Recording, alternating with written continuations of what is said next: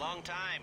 Eh, that last thing I put you onto, that was uh, nothing to do with me, remember? But but this is. I've put a lot in, and I've been waiting on some information. But I've got that now. Cost me a small fortune, so let's hope it's legit. I'll come by